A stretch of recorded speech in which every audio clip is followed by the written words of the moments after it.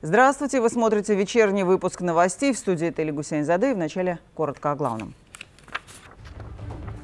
Франция никак не может переварить победу Азербайджана. Об этом представитель президента Азербайджана по особым поручениям Ильчин Амирбеков заявил в интервью французской газете «Ле Монт».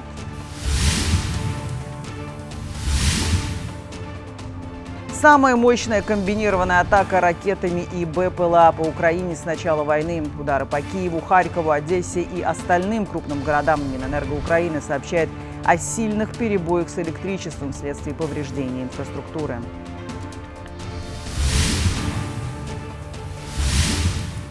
В следующем году неправительственная организация Азербайджана составит карту горнодобывающей промышленности Армении. Компания «Сокар Грин», созданная госнефтекомпанией Азербайджана, будет специализироваться на проектах в сфере возобновляемой энергетики, производстве зеленого водорода и управления углеродом. Это создаст новые возможности для развития экономики страны.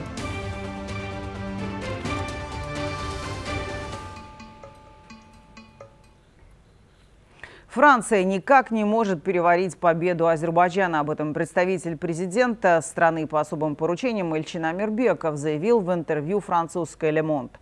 Причиной ухудшения отношений между Баку и Парижем является несправедливая предвзятая проармянская позиция, занятая Францией в вопросе армяно-азербайджанских отношений, отметил Ильчин Амирбеков.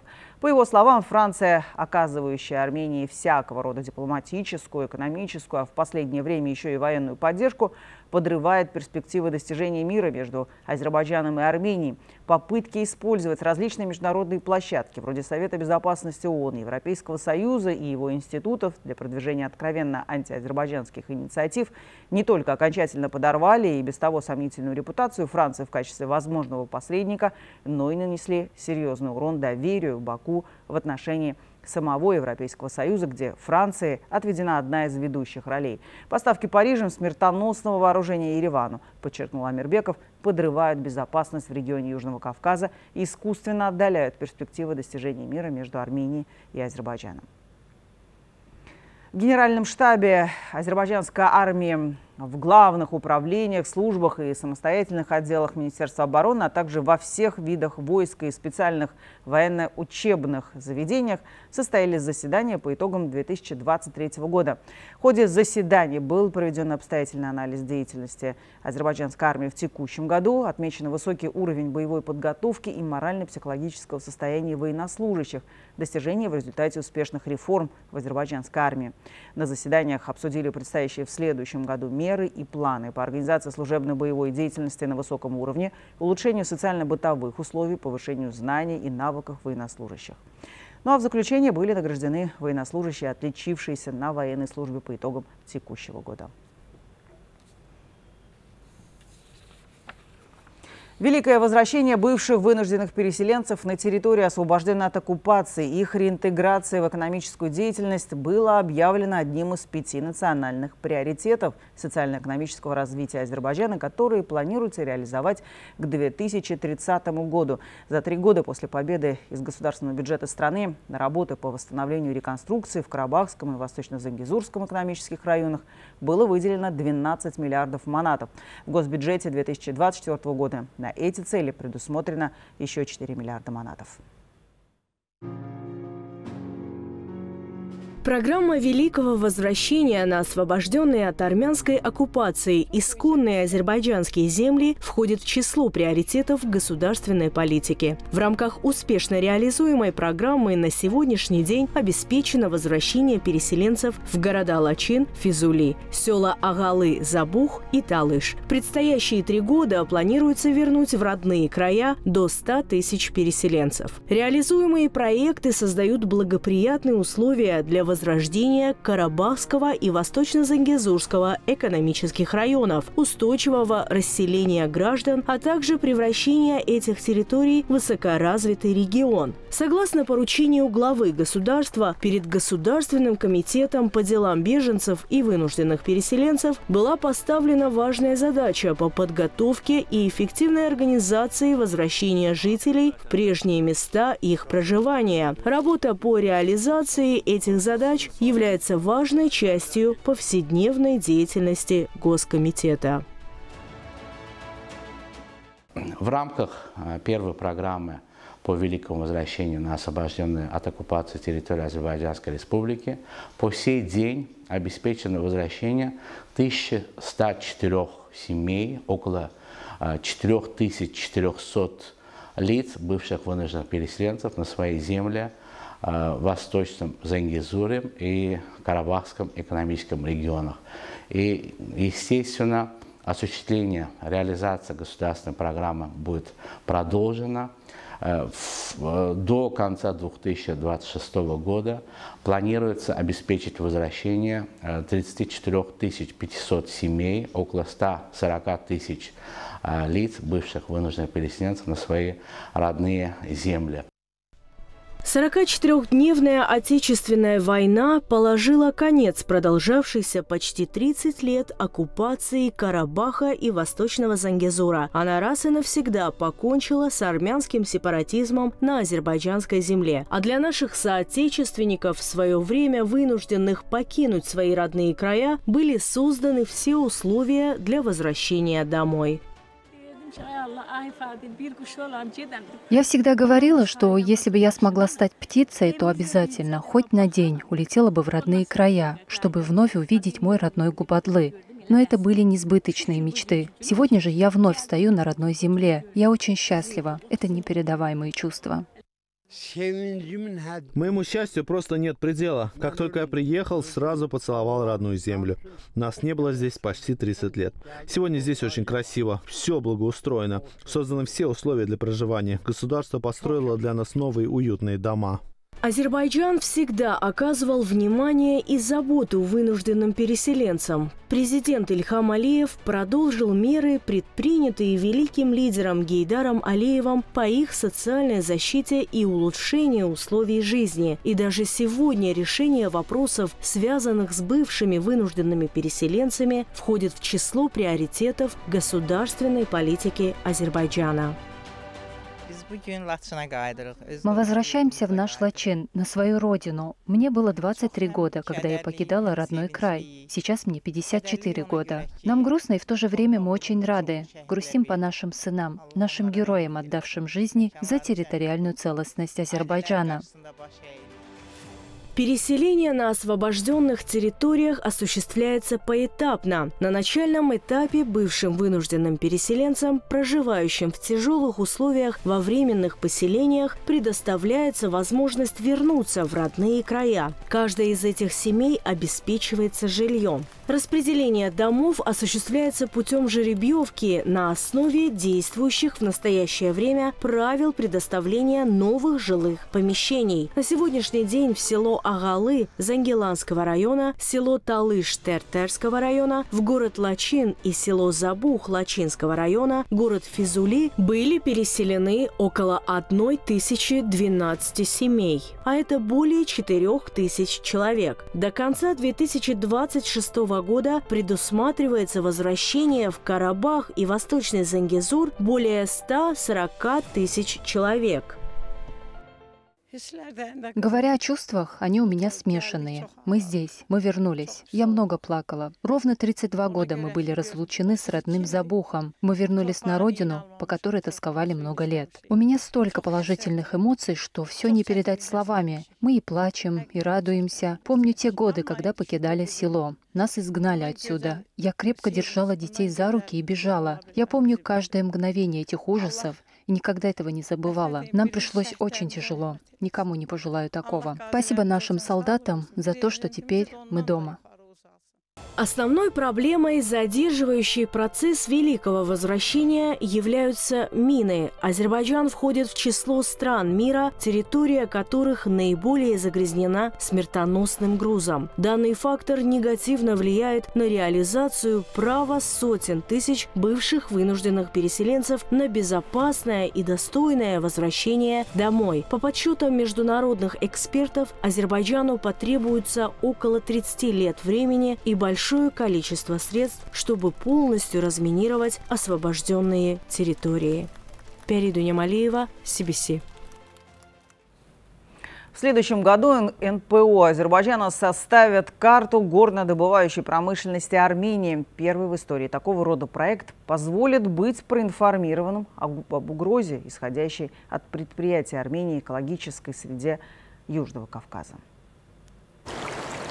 В 2024 году будет впервые выпущена карта горнодобывающей промышленности Армении, которая наглядно продемонстрирует всему миру, какую угрозу эти предприятия представляют для экологии региона. Об этом сообщил председатель общественного объединения картографа Азербайджана Мугабиль Байрамов. Он сказал, что этот проект станет первой работой возглавляемого им НПО. Эта идея возникла, когда летом президент Ильхам Алиев проводил совещание и подробно описал угрозу, которую представляет горнодобывающее предприятие Армении и экологии региона. Мы подумали, что следует подготовить такую карту, собрать информацию о нанесенном Армении ущербе окружающей среде. Эта ситуация представляет угрозу не только для Азербайджана, но и для всего региона. Мы уже собрали определенную информацию, но пока она ограничена, так как Армения всячески старается пытается скрыть ее. Карта горнодобывающей деятельности Армении будет опубликована на трех языках – азербайджанском, английском и армянском. На ней будут указаны азербайджанские топонимы, оронимы и гидронимы. В следующем году Азербайджан примет у себя важное климатическое мероприятие – КОП-29. По словам Мугабиля Байрамова, эта карта будет представлена иностранным НПО, которые приедут в Азербайджан, чтобы им была более ясна угроза, исходящая от горнодобывающих предприятий Армении для экологии Южного Кавказа.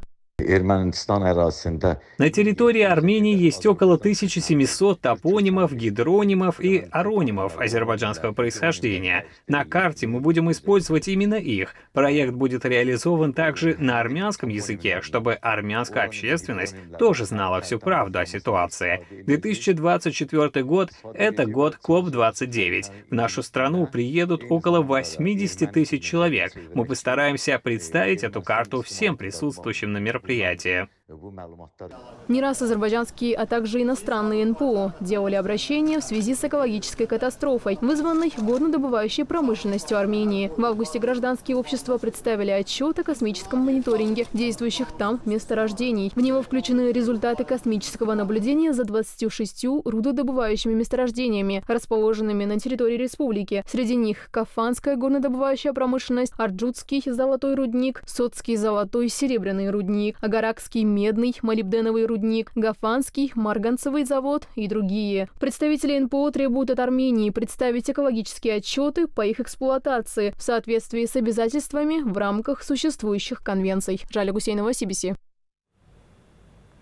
Турция планирует производить совместно с США двигатели для истребителей F-16, чтобы в будущем использовать их в своих самолетах Кан. Анкара заявила о желании открыть на своей территории производство двигателей F-110, которые сейчас применяются на этих истребителях. Отмечается, что первый полет Кан запланирован уже на январь 2024 года. Турция планирует открыть на своей территории производство двигателей F-110 американской корпорации General Electric, которые применяются на истребителях F-16. Анкара планирует оснащать ими боевые самолеты пятого поколения КАН компании Turkish Aerospace Industries. Об этом сообщает агентство Bloomberg. По его данным, Анкара уже запросила у Вашингтона разрешение на совместное участие в производстве этих двигателей, так как намерена оснащать каждый истребитель КАН двумя F-110 до тех пор, пока не разработает собственные модели двигателей. В Турции до сих пор используются боевые самолеты F-16. В них используются турбовентиляторные двигатели F-110. В то же время были разработаны первые прототипы в рамках национального закона о боевых самолетах. Сейчас рассматриваются несколько вариантов производства двигателей. Один из них — это производство совместно с американскими F-110. Нужно отметить, что технология усовершенствования двигателей в Турции достигла очень высокого уровня, и нужно продолжать развитие в этом направлении. Этот истребитель создается с 2017 года в рамках программы «Национальный боевой самолет». Планируется, что в 2028 году начнется его серийное производство. Турецкие власти ранее заявляли, что по тактико-техническим характеристикам Кан превзойдет американский F-35 и в перспективе заменит стоящий на вооружении военно-воздушных сил Республики истребители F-16.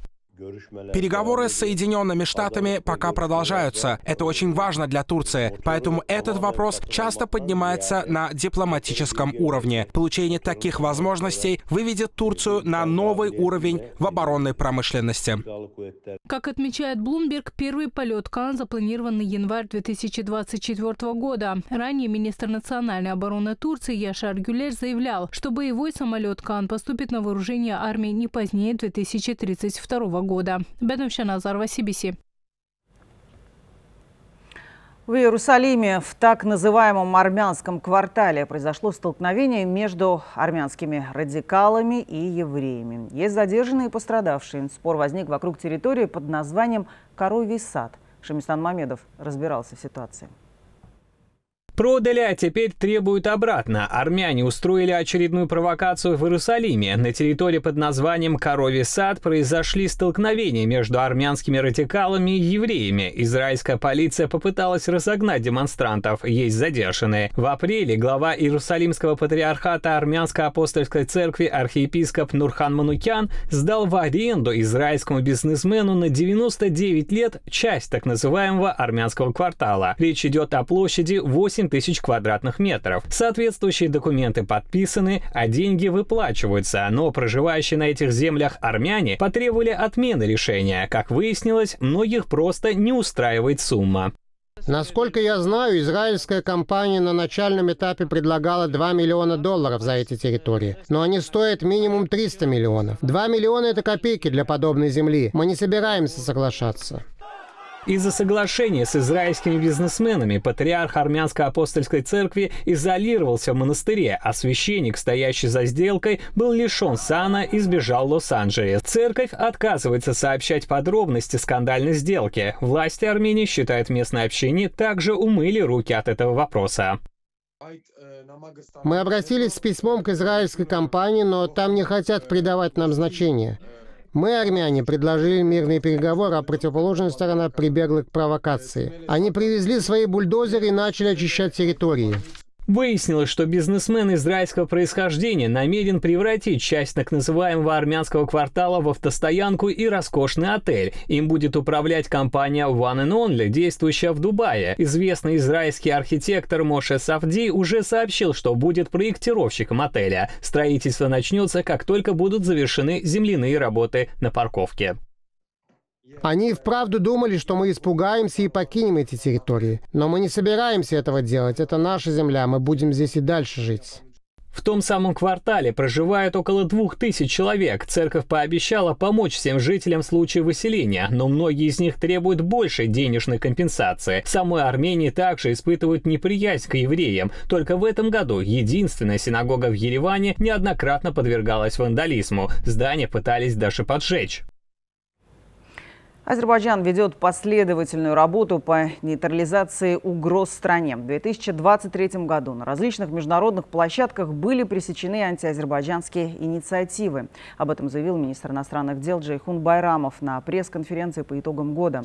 Он также подчеркнул, что в последние годы антиазербайджанские инициативы на международных платформах стала выдвигать и Франция, которая после восстановления Азербайджаном своей территориальной целостности уже не могла скрывать свою проармянскую позицию. Париж сделал азербайджано-армянскую повестку дня составной частью своих отношений с Азербайджаном, подчеркнул Байрамов, отметив, что позиция Франции всегда была проармянская. Однако, являясь посредником в карабахском урегулировании, она на протяжении долгого времени мастерски скрывала это. Помимо этого, дипломат заявил, что армяно Азербайджанский переговорный процесс не должен становиться заложником третьих стран. Джейхун Байрамов предложил провести переговоры глав МИД Азербайджана и Армении на границе двух стран. Он также выразил надежду на встречи в Баку и Ереване.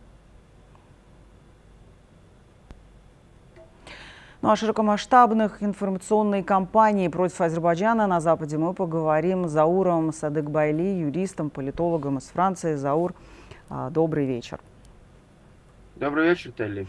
Ну, сейчас очень множество западных СМИ разного уровня известности да, ставят перед собой почему-то задачу по очернению Азербайджана.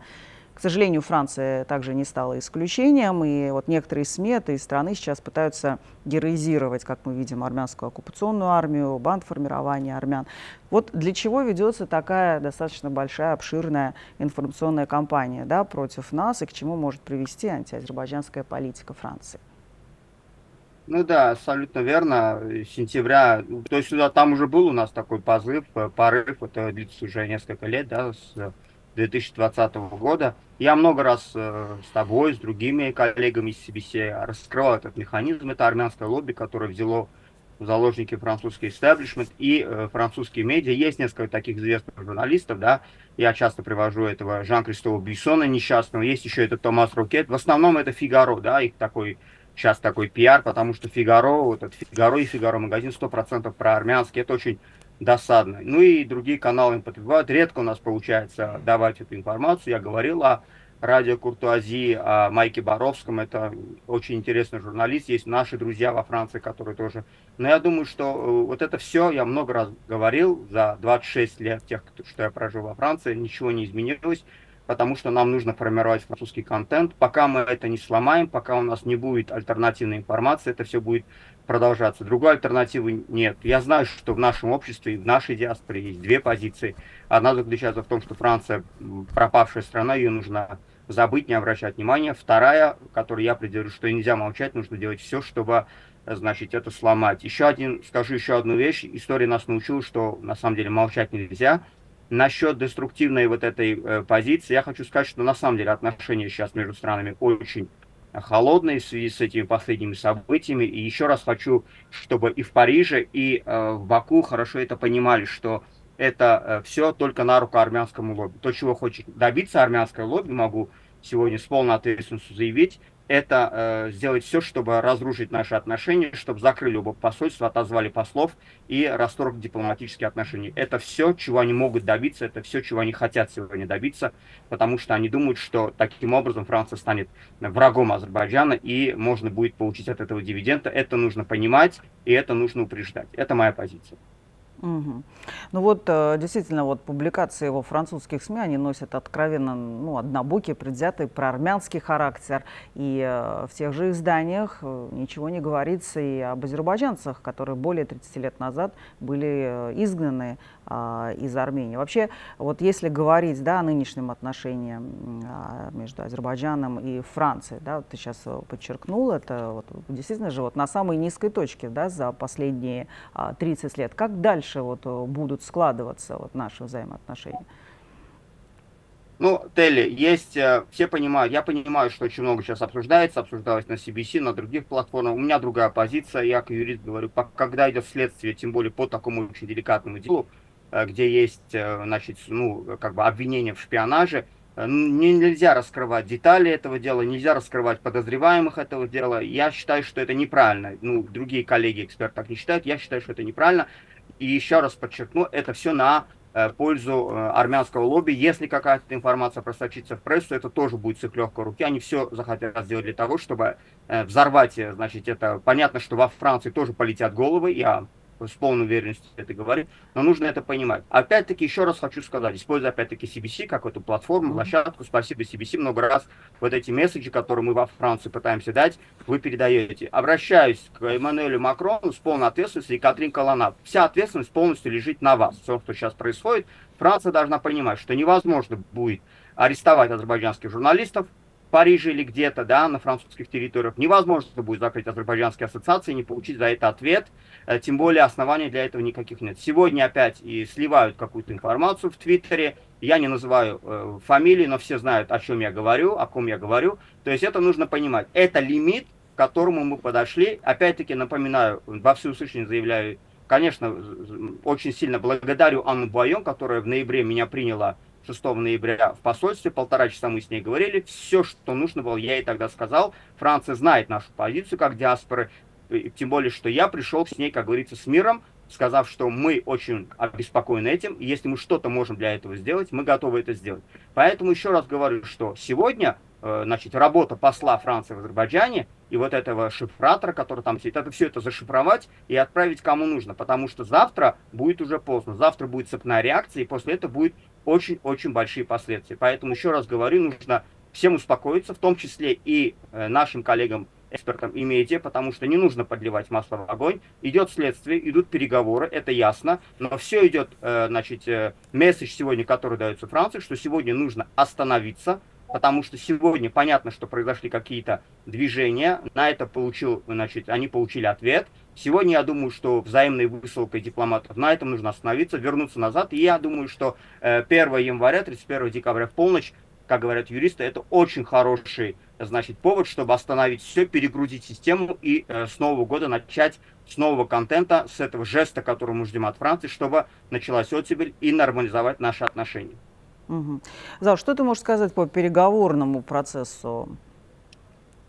Ну, я всегда говорил, еще раз говорю, в моем понимании мирный процесс необратим, подписание мирного э, договора необратимо, вопрос, где он будет и когда. Я так понимаю, что двухсторонняя вот эта площадка, она имеет свои плоды, Ехум Байрамов абсолютно правильно сказал, блестящая инициатива на самом деле нашего министра Анраздела, потому что предложить встречу напрямую со своим армянским коллегой э, в нейтральном зоне, на границе, это очень хорошая перспектива. Но опять-таки, думаю, что э, вообще все, все понятно, да, и на глазах у всего мира президент Ильхам Алиев э, использовал очень хорошо Азербайджанскую дипломатическую академию. Это был очень сильно такой э, ход, да, как, так, как он называет, пиар, и, значит, с политической коммуникацией, то есть собрать всех вот этих международных экспертов, значимых в международных отношениях, и три часа им все это объяснять, раскрыть все карты. Естественно, после этого никакая, значит, пресса, даже какая бы ни проармянская, не может сказать, что Азербайджан не хочет мира. Азербайджан хочет мира. Сегодня из заявления министра понятно, что Э, Азербайджан понимает, что значит, эти вопросы какие-то могут быть использованы третьими силами, чтобы затормозить переговоры. Поэтому даже вот такие вопросы спорные, как о делимитации значит, границ, об селах, об анклавности этих сел или не анклавности, мы можем оставить их на потом. Главное подписать рамочный документ, признать территориальную целостность друг друга, да, чтобы Армения отказалась от притязаний и, естественно, пойти вперед. Конечно, с моей стороны, как представитель западных азербайджанцев во Франции, да, как человека, который сам вот в этом очень э, давно, очень долго этого ждет. Конечно, это, э, значит, большая надежда у нас была, и у меня лично, что один из параметров переговоров будет, э, как говорится, вот этот фактор возвращения западных азербайджанцев в Армению. Но я скажу одну знаете, в английском языке, в юриспруденции есть такое название, такое понятие side agreement, когда у вас есть основной договор, и у вас есть рядом еще один договор. То есть я вообще не удивлюсь, если после основного вот этого рамочного договора значит, мирного договора. После этого будет еще один договор, который будет, может быть, один, второй, третий или его приложение, где будут вот эти вопросы значит, э, обсуждены, подписаны и так далее. То есть самое главное, как говорится, начать и э, чтобы потом дальше это пошло. А все остальное это, конечно, ну, на всех глазах у всех, у тебя, Телли, у меня, у всех у нас, угу. это попытки э, заокеанских вот этих всяких дядь, да, всяких вот этих э, воспевал и армянского лобби всеми правдами и неправдами э, найти возможность затормозить это, не дать Пашиняну сделать эту, значит, смелый шаг, взять на себя историческую ответственность политическую и подписать, э, значит, эту рамочную договор. Я думаю, что это к этому нужно идти, и я думаю, что это уже неизбежно, это, скорее всего, произойдет, если не до 31 декабря, э, значит, до полночи, как подарок нам нашим двум народам, то это произойдет, наверное, в начале следующего года. В этом я почти уверен. Спасибо, спасибо большое. В любом случае, Азербайджан, конечно, не намерен предпринимать какие-либо шаги против э, Франции. Мы надеемся, уже в следующем году вопрос э, с мирным соглашением будет решен. Благодарю тебя за комментарии. Я напомню, Заур Садыкбайли, юрист, политолог из Франции, к нам подключался. Сегодняшний день запомнится украинцам самым мощным массированным ракетным обстрелом. Информация о количестве взрывов менялась каждый час. Так взрывы были слышны сразу в нескольких городах Украины. Число погибших и раненых продолжает увеличиваться.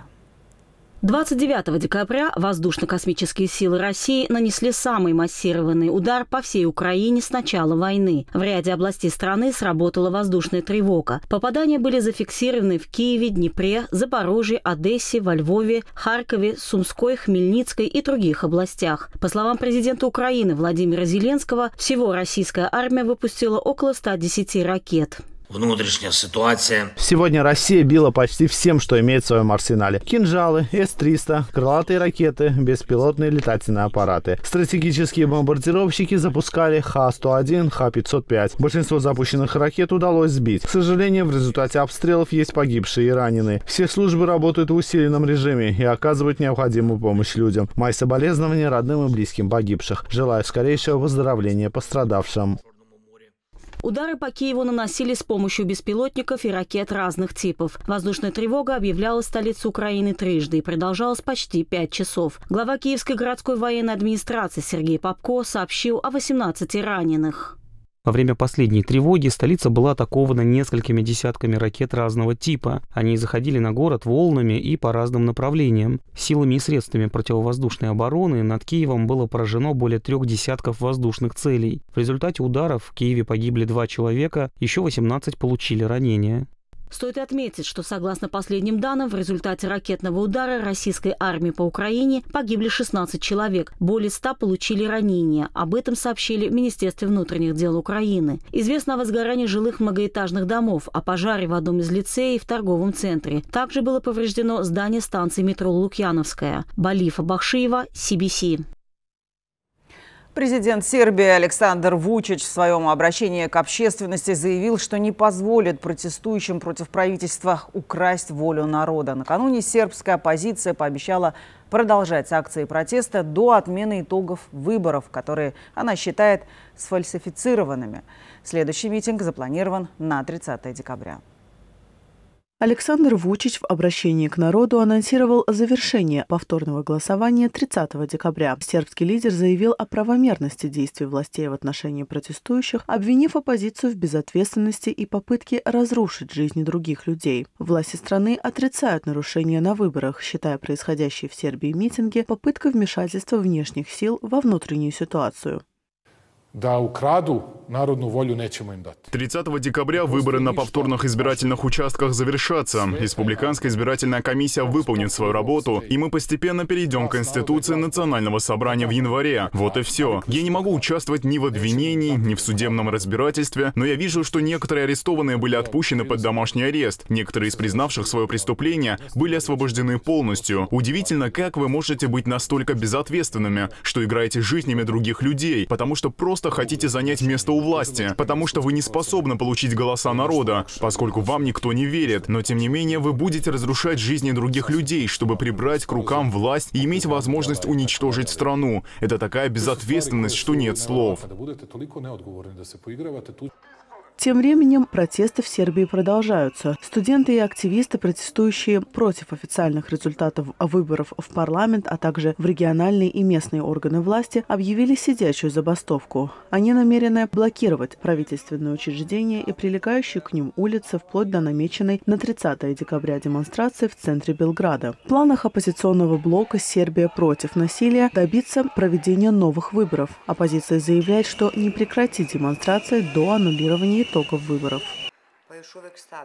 Забастовки дают мне большую надежду на то, что вся эта борьба имеет смысл, потому что мы, по сути, обращаемся к международному сообществу. В этом и заключается цель протестов – создать независимую комиссию, которая бы рассмотрела эти итоги выборов и на основе уже имеющихся доказательств аннулировала их. Мы пойдем до конца. Мы также будем подавать ходатайство в Конституционный суд. Мы будем использовать абсолютно все имеющиеся в нашем распоряжении механизмы, потому что у нас есть доказательства. Мы здесь, чтобы оказать поддержку студентам и всем арестованным в ходе последних протестов. Мы хотим сказать им, что они не одиноки, и что есть такие люди, как мы, которые свободны, которые подбадривают их и ждут, пока их освободят. Западные наблюдатели заявляют о том, что в ходе последних выборов были якобы выявлены нарушения. Однако официальные сербские власти не согласны с этим заявлением. За протестами оппозиции в Сербии стоят западные спецслужбы, в особенности американская, британская, французская и немецкая, заявляют власти страны. Эллада Мамедова, CBC. Экспериментальный легководный ядерный реактор КНДР в Йонбёне может быть полноценно запущен летом 2024 года, сообщил министр обороны Республики Корея Син Вон Сик. В то же время министр отметил, что реактор вряд ли будет использоваться для производства плутония для ядерного оружия. Глава ведомства также отметил, что он и его подчиненные проследят за ситуацией на тот случай, если КНДР смогут найти способ произвести оружейный плутоний с помощью легководного реактора. Ранее в МАГАТЭ также заявляли, что Северная Корея могла ввести в работу легководный реактор, способный производить плутоний. Мы начали фиксировать признаки спуска воды, использованной для охлаждения реактора летом прошлого года. А для начала полноценной эксплуатации потребуется примерно один год. Соответственно, реактор на данный момент работает в тестовом режиме с целью улучшения оборудования. Однако КНДР вряд ли воспользуется этим реактором для получения плутония с целью производства ядерного оружия. До сих пор не было такой страны, которая создала ядерное оружие, получив плутоний с помощью легководных реакторов. То же время Синвон Сик не исключил, что этот реактор может быть использован в военных целях. По словам южнокорейского министра, реактор может пригодиться при экспериментах по созданию ядерной силовой установки для атомных подводных лодок и при производстве трития, необходимого для создания водородной бомбы. Ранее лидер КНДР Ким Чен Ын поставил перед армией и предприятиями военной промышленности, в том числе связанными с производством ядерного оружия, задачу ускорить подготовку к войне. Соответствующее заявление он сделал в конце девятого пленума Пленума Центрального комитета Трудовой партии Кореи. Уточняется, что лидер КНДР распорядился принять такие меры в связи с серьезной военно-политической ситуацией на Корейском полуострове. Такие меры следует принять в связи с серьезной военно-политической ситуацией на Корейском полуострове, которая накалилась до предела из-за беспрецедентных происков США и их сателлитов. Необходимо расширять и развивать отношения стратегического сотрудничества с антиимпериалистическими и самостоятельными странами. Власти Казахстана исключили движение «Талибан» из списка запрещенных организаций. Об этом сообщил официальный представитель МИД этой страны Айбек Смадияров. По его словам, Казахстан регулярно проводит ревизию национального списка запрещенных в стране организаций в целях его актуализации. Так, в рамках указанного процесса было принято решение об исключении из него движения «Талибан» в соответствии с практикой ООН. Он также отметил, что дипломатические контакты с организацией будут развиваться в рамках принятых решений и резолюций Совета Безопасности безопасности Генеральной Ассамблеи ООН. Касательно политических контактов, Смадьяров подчеркнул, что Казахстан и далее будет строго придерживаться принимаемых Советом Безопасности и Генеральной Ассамблеи ООН решений и резолюций. На сегодняшний день Талибан во многих странах мира признан запрещенной террористической организацией. В 2021 году движение пришло к власти Афганистана после того, как из страны были выведены американские войска. В октябре представители Талибана приняли участие в китайском форуме «Один пояс, один путь. Несмотря на то, что на момент встречи ни одно мировое правительство не признавало легитимность власти талибов, афганские представители регулярно ездили с официальными визитами на региональные встречи и продолжают это делать и сейчас. Казахстан и вообще страны Центральной Азии, прежде в первую очередь, да, Узбекистан, Таджикистан, Туркменистан, мы очень тесно, если не граничим, то, по крайней мере, взаимодействуем с Афганистаном, и любые события, которые происходят нам, очень больно сказываются на нашем регионе. Поэтому перед нами выбор о том, что будем ли мы налаживать отношения с какой-либо э, группировкой, которая имеет реальную власть в этой стране, она не стояла. Просто был вопрос о том, на каких основаниях, как это сделать. Потому что полностью игнорировать существование Афганистана мы не можем.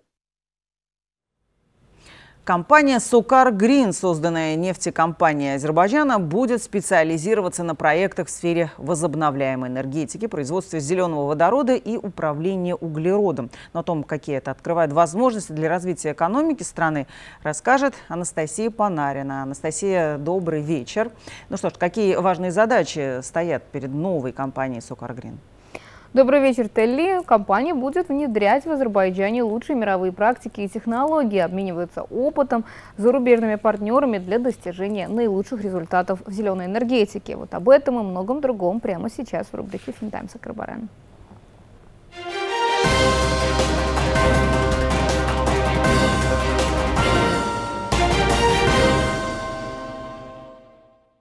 1 миллион манатов выделен Государственному агентству автомобильных дорог. Согласно распоряжению президента Азербайджана Ильхама Алиева, средства направляются на выполнение первоначальных работ по ремонту дорог в Шабранском районе. Реконструируемый участок начинается от пункта Гандоп и пролегает до усиления Гюнашли. Эта дорога соединяет три населенных пункта, где проживает 4000 человек. Отметим, что 11 километров этой дороги относятся к магистрали республиканского значения Баку-граница с Россией. Другим распоряжением президента Азербайджана 350 тысяч манатов будет направлено на ремонт дорог в Ясамальском районе столицы.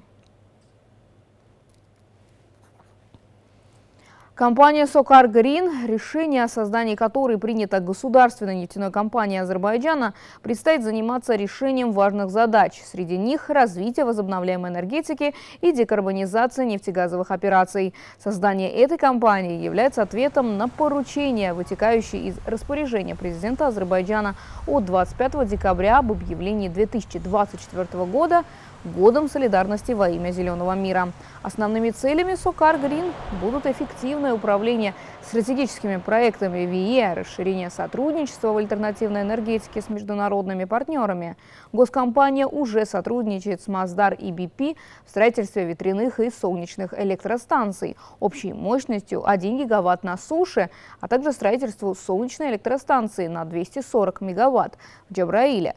Планируется установка солнечной и ветряной электростанции в Нахчеване совместно с Power, Mazda и Energy China. Компании Sokar Green. Это опять-таки разрешение всех стратегических инфраструктурных инвестиционных проектов, которые на сегодняшний день главны для Азербайджана с точки, зрения экономического и устойчивого развития возобновляемых источников энергии. Соответственно, этому надо сказать, что возобновляемые э, вопросы, которые решаются по возобновляемым источникам энергии, они являются для нас главенствующими, так как мы здесь э, прекрасно понимаем, насколько важно было э, открытие в городах солнечной электростанции совместно с компанией Маздар, что также является главным здесь историческим событием, а также примером для многих стран того, что Азербайджан на сегодняшний день как приоритет своей энергетической подноготной принимает, конечно же, Э, в большом количестве использовать возобновляемые источники энергии. Деятельность Сокар Грин не ограничится реализацией проектов в сфере возобновляемой энергетики, производства зеленого водорода, улавливания, утилизации и хранения углерода. Также новой компании предстоит оказывать необходимую поддержку подготовки стратегических дорожных карт по сокращению выбросов углекислого газа по всей стране. Компания будет внедрять в Азербайджане лучшие мировые практики и технологии, обмениваться опытом с зарубежными партнерами для достижения наилучших результатов в зеленой энергетике. Сукар Грин является важным шагом в направлении устойчивого развития Азербайджана. Поставленные перед компанией задачи позволят не только снизить негативное воздействие на окружающую среду, но и создать новые возможности для развития экономики и укрепления энергобезопасности страны. Производство зеленого водорода как такового, который также является главным располагающим на сегодняшний день на повестке дня, является прежде всего тем, что э, новая операционная модель Э, компании Green будет располагаться на международный опыт и внедрение международного опыта как раз-таки э, в областях э, энергетики, что, соответственно, также будет повышать экономическую устойчивую эффективность в сфере здесь да, вот, отраслей экономики. Азэнерджи в текущем году построила 12 подстанций и гидроэлектростанций на освобожденных территориях Азербайджана. Так, при участии президента Ильхама Алиева была введена в эксплуатацию перекрестная подстанция в 330 киловатт Джабраил. Она построена в рамках проекта международной энергетической цели Азербайджан, Турция, Европа. В соответствии со стратегией зеленой энергии в уходящем году в Кельбаджарском районе после реконструкции были открыты малый ГЭС «Чирах-1» мощностью 8,3 мегаватт мегаватта, Чирах-2 в 3,6 мегаватта, Гамышлы на 6,3 мегаватта, Союк-Булах в 5,3 мегаватта и Майдан мощностью 3,4 мегаватта. Параллельно Азэнерджи заново построила 110-киловольтную подстанцию Горчу в Лачине и городскую узловую подстанцию. Также в Лачинском районе реконструированы и введены в эксплуатацию Малый ГЭС Мишни на 8,2 мегаватта и Ахаслы мощностью 6 мегаватт. Президент Ильхам Алиев также принял участие в открытии недавно построенной ГЭС Джахангир Бейли на 10,5 мегаватт, а в декабре состоялось открытие узловой подстанции Ахдам мощностью 110 киловольт. В 2023 году на освобожденных территориях было начато строительство 9 электростанций Азерэнерджи, и в настоящее время продолжается строительство 12 гидроэлектростанций в Карабахе и Восточном Зангизуре, которые будут производить экологически чистую зеленую энергию. На нескольких из них работы уже завершены. Эти 12 станций планируется ввести в эксплуатацию в 2024 году. Продолжая тему потенциала Южного газового коридора, подчеркнем, что будущее данного азербайджанского трубопровода не ограничивается его экспортными возможностями. Преимущества ЮГК распространяются и на соседние страны, и в другие сегменты энергетической отрасли. Подробнее об этом в следующем сюжете. Помимо азербайджанского топлива для заполнения ЮГК рассматриваются также экспорт в Европу газа из других источников. Первоочередными поставщиками для Южного газового коридора сегодня считаются Туркменистан и Иран. Баку, Ашхабад и Тегеран в 2021 году договорились о своповых поставках, то есть обмене газом. По мнению экспертов, если расширить это соглашение до полноценного международного экспортного проекта, то можно будет увеличить поставки газа из Туркменистана и Ирана в Азербайджан, с территории которого голубое топливо будет отправляться в страны Евросоюза. Кроме того, с месторождения услуг, совместно разрабатываемого Азербайджаном и Туркменистаном, также мог бы поставляться газ для экспорта в Евросоюз по ЮГК. В случае подключения к проекту таких стран, как Иран, Туркменистан, Ирак, объем экспорта составит 30-40 миллиардов кубических э, кубометров в год, э, что уже начнет составлять э, серьезную конкуренцию России, Алжиру, Норвегии и поставщикам ЛНГ в Европу. Присоединение новых участников к проекту подчеркивает его привлекательность.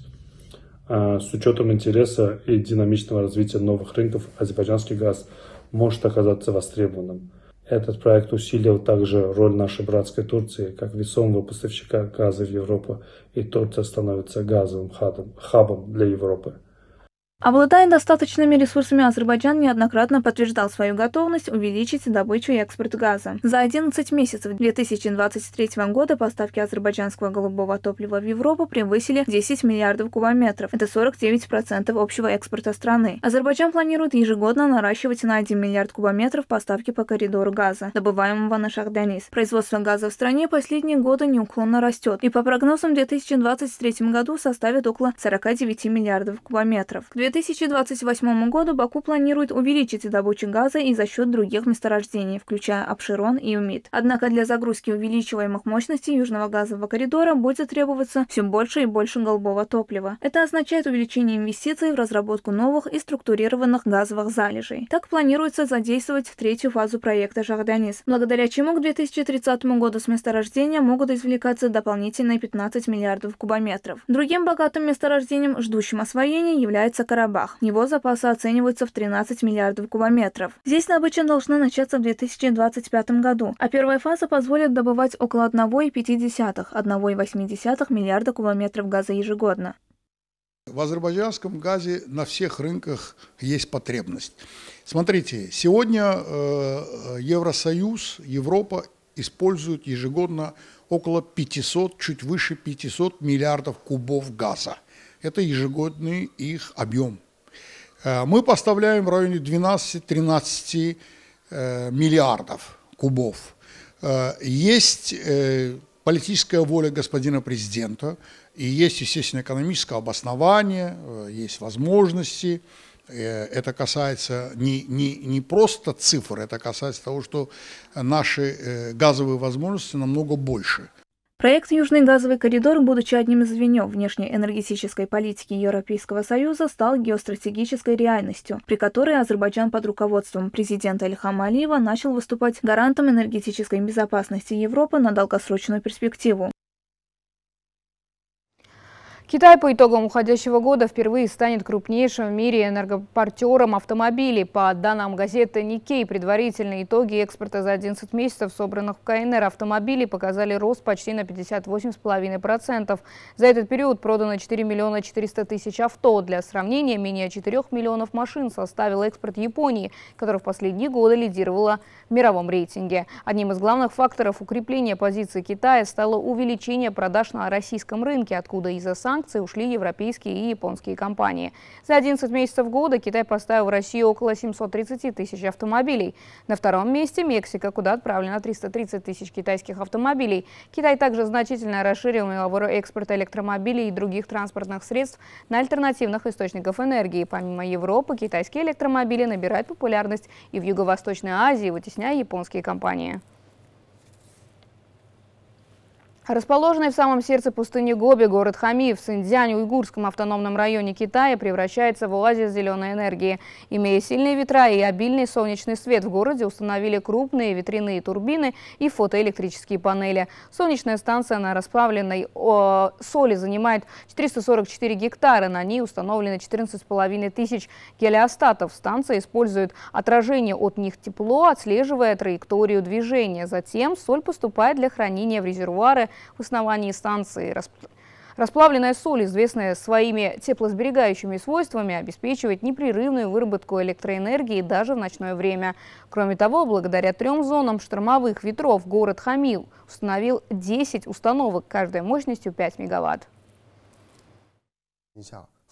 Природные ресурсы, такие как ветер и солнечный свет, непредсказуемы, что делает устойчивую выработку электроэнергии реальной проблемой. Применяя дополнительные режимы, мы можем генерировать энергию с помощью света, когда ветер прекращается, и наоборот. Избыточная мощность накапливается в системе накопления энергии. Это позволяет максимально использовать природные ресурсы и повышает стабильность выработки электроэнергии. Сейчас в промышленной зоне обосновались 14 энергетических компаний, которые производят ветряные турбины по новым технологиям. Согласно последним данным, опубликованным государственной сетевой корпорацией, Синьцзянь лидирует в Китае по установленной мощности новых источников энергии 20 миллионов киловатт, что в пять раз превышает общую мощность, установленную в 2022 году. В будущем мы станем использовать богатые природные ресурсы региона, такие как ветер, свет и солнечная энергия, для создания базы солнечной энергетики гигаваттного уровня. Цель состоит в том, чтобы сформировать комплексную производственную цепочку высококачественного оборудования для хранения энергии, охватывающую производство, исследования, разработки и другое. Мы будем работать над тем, чтобы эта инициатива заложила прочную промышленную основу для достижения пика выбросов углекислого газа и углеродной нейтральности. Ну что ж, это были все новости экономики на сегодня. Мы будем продолжать следить за ходом событий как в мире, так и в регионе, но об этом в следующих выпусках. Телли. Спасибо большое. Ну, у нас к этому часу тоже все. Это был вечерний выпуск новостей. Я с вами прощаюсь. Всего доброго. До скорых встреч.